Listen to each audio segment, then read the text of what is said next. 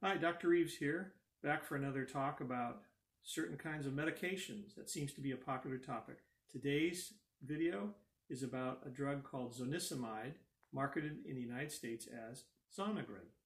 So Zonegran, or zonisamide, is used for a number of reasons. It's really approved in the United States for treatment of epilepsy, specifically for partial onset seizures or focal epilepsy or whatever term you want to use.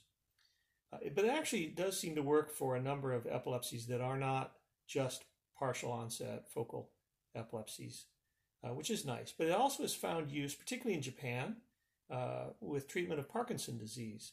It's not really used much for that in the United States, at least at this point, but it probably has a little bit of promise because the medication does kind of tweak some of the chemicals that are involved in the Parkinson's kinds of symptoms. Uh, there has been a little bit of use for zonisamide, uh, taking care of people who have frequent migraines, people who have nerve pain, and there is even a little research looking at using Zonegran for uh, making weight loss a little bit easier, which in the United States is a big deal. Zonegran comes in a number of pill strengths. Most frequently, we wind up using the 100 milligram capsules. A lot of my patients are taking two or 300 milligrams total a day, although I do have some that are taking as much as 300 milligrams twice a day. I might even have one or two taking more, all of which to say your mileage may vary. We're all a little bit different. How much we need and how much we can tolerate it and how well we metabolize it is different from person to person. When you take a dose of Zonegran, generally the literature says it takes about two to six hours for the medication to kind of reach a peak in your bloodstream. That's pushed out a little bit when you take the medication with food. The total amount that you absorb doesn't change though. So if you take it with food or without food, really it kind of doesn't matter. Let's talk about side effects of Zonegran. I usually put them into kind of two buckets. One bucket is the side effects that are common to every seizure medication. If you take enough of any seizure medication, you get what I call the drunk, tired, and stupid, meaning your concentration is bad, your memory is bad, your balance is bad, you're sleepy, uh, you can't think as well. Uh, that's pretty common to every seizure medication. Zonisamide is not particularly bad in that kind of side effects. It's certainly not as bad as some of the other medications that we have used over the decades. But as I've said already, your mileage may vary. There are some people that just don't respond well to zonisamide or some other drug. We're all a little bit different. Uh, in general, the medication is um, pretty well tolerated in my experience, but you never know until you get on it and you see. Now, other side effects that we think about, uh, they often uh, take a while to build up because the medicine has a very long, what we call a long half life, meaning the amount of time that the medicine kind of hangs around in your bloodstream after you take a dose is really long. And that means when you start the medication or when you make a change in the dose, it takes quite a long time, like 10, 12, 13 days, for the new steady state level to uh, kind of settle in.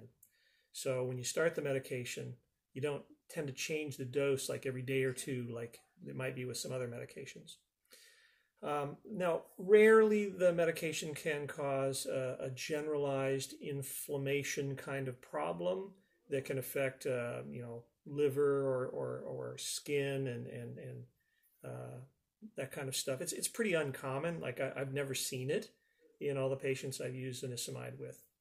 Um, there, the more things, the more common things we worry about is maybe up to 4% of people might have a problem with kidney stones on the medication. And it has to do with part of its function with uh, uh, uh, an enzyme called carbonic anhydrase, if you're that interested.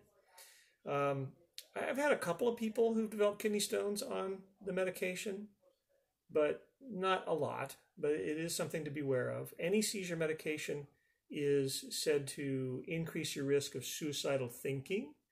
Um, that can be anywhere from early on in the medicine to you've been on it for weeks and months. Uh, I have not seen a lot of that with zonisamide personally, but it can occur. The um, uh, other side effect, or that some people worry about quite a bit, it has to do with pregnancy. And if a woman gets pregnant on zonisamide, sort of what's the risk? Now, the best data that we have in the US comes from a certain pregnancy registry. And it, there's not a huge number of women who've had pregnancies on zonisamide, but uh, la- at the last publication, there are about 166. So the, the confidence intervals, you know, the range of concern about uh, bad effects on the baby is a little bit broader than we'd like. But if you kind of look at the data, it actually looks really pretty good.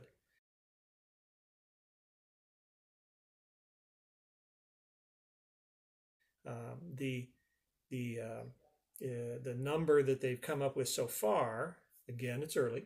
The number they've come up with so far is not really particularly different from the rate of having problems with the baby uh, when the woman isn't taking any seizure medication.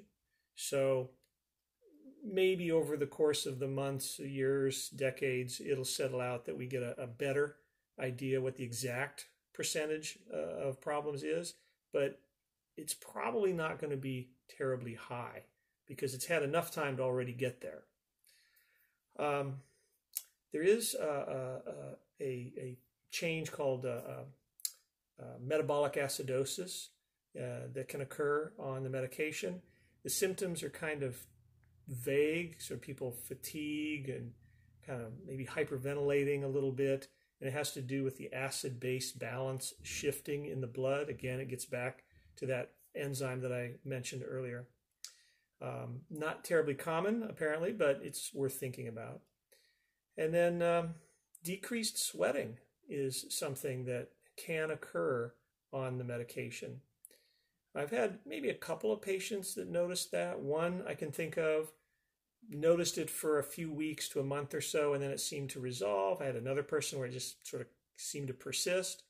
Um, that I guess would be a particular problem if somebody was working in hot environments or lived in a place where it was really quite hot and humid and was hard to lose body heat. So, of course, there are other less common uh, side effects or more severe side effects that uh, we don't see very much.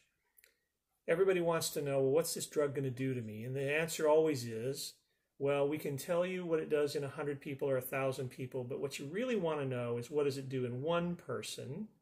And the statistics don't really answer that as well. They tell you about your risk, but they don't really tell you about your particular future.